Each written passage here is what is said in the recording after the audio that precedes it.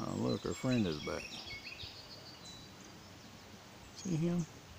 Do, do, do. He don't move.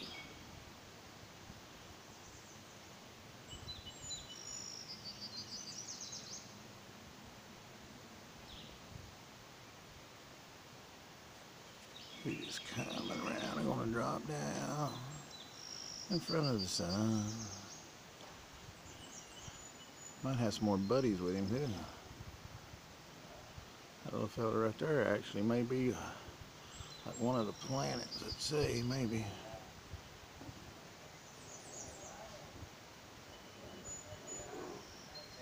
We'll know a little more next week. But hopefully the telescope will be here. and we're going to put shades on that booger. And we're going to look at that object right there beside the sun and the sun.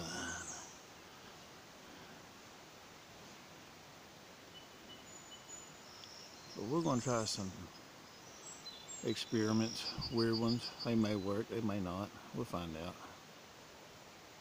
But you see that little booger ain't going nowhere. He's just poking his head right out there. See it? Ooh, that's why I say get all different kind of angles.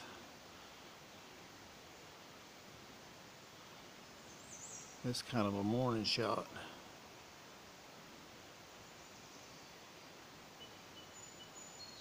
Late morning shot, that is.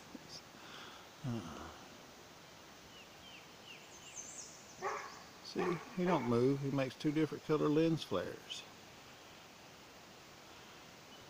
They would probably just pass that off as one of our planets or some shit. So, well, that's Mercury or some shit, but they're liars.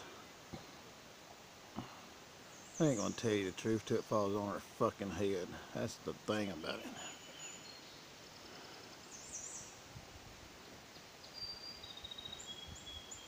But stay safe.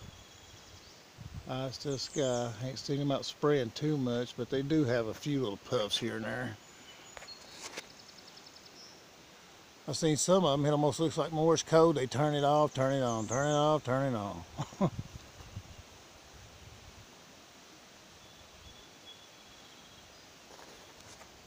Man, ain't really seen there this morning. I've been busy. But we'll try to keep you informed and up to date as much as we can. That little fella just stays right there. Boop, boop, boop. But if I say if, if it's one of our plants, we see it that good, we in big trouble because he's at alignment or we are one. but I'd say they're just hiding stuff. But stay safe. Keep looking up. Never know what you might see.